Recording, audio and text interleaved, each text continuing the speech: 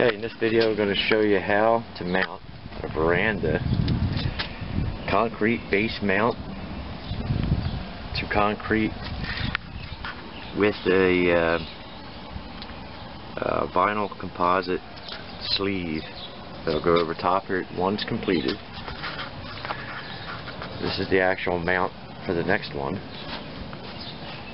This one's done and then what I'll do is I'll show you how to mount one in this section right here. Okay, first thing we're going to do is lay a template down. Comes with an extra plate for mounting. And what I'm doing is I'm measuring in an inch and a quarter and an inch and a quarter. And the reason being, as remember we have a skirt panel that's going to go around that, which will hide the bolts. Flush it all out, so that'll make it look nice. Alright, so first thing we're going to do is we're going to take that and we're going to draw that template out. We're going to make circles for each one so we have four holes so we know where to Okay, now after you draw your little circles here, move your template and you can see a lot of sun here but you can see there's four individual marks here that are going to be bored. Now what I like to use for a bore bit okay, is on this one I use quarter inch anchors. So what we're going to use here is a quarter inch you can see with the sun glare. It's a quarter inch Bosch stick uh, I'm sorry a quarter inch Bosch mason bit. And then what I like to install with I have a Ridgid hammer drill which is ideal for concrete. The hammer drill will vibrate up and down and, and as you're drilling it'll actually bang into uh, the concrete and assist with the drilling. So it's a carbide the bit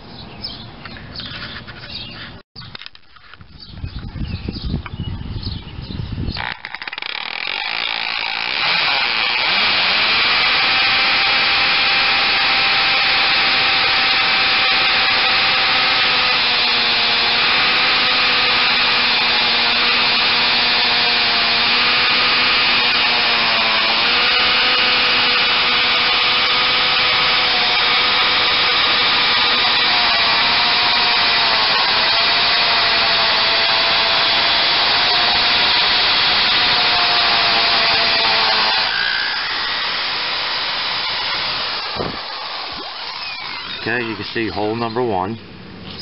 And then you do each three uh, three other holes. Then when you're done, you blow the dirt off with a brush or something, and then rebore just to get the powder out of the hole. And then that particular location will be uh, set up to uh, to adhere for the post. Okay, so we'll come back in a minute. Okay, as you can see, all four holes are now bored. And you're just going to dust them out just to get rid of the soot powder. And then just run your drill through it again just to make sure they're clean. Okay, here's what I like to use for anchors on this particular type of uh, composite vinyl. Alright, I'm using a two and a half inch wedge anchor. It's an anchor, a washer, and a nut. And just so you know, this particular one's a quarter inch by two and a quarter inch. Okay, and I'll show you how to assemble that to the concrete. Okay, first thing you're going to do is you're going to position um, the post mount bracket over top of your holes. You're going to set that gingerly in the hole. Bring your nut up to about the size of the stud. You don't want to smash the stud. And gently tap it in. So it rests itself in the concrete. You may have to adjust the nut to bring it up. You don't want to overhit. You don't want to smash it. You don't want to mushroom it. If for some reason it's not going in, you either use the wrong size bit, okay, or your hole alignment is off. And I bring it down almost to flush. Okay, and we'll come back when the other three are installed. Okay, now you can see all four are installed. Now what you're going to do is you're going to take your ratchet for whatever size anchor you're using. You're going to start snugging them up. A little at a time, kind of like a tire lug nut.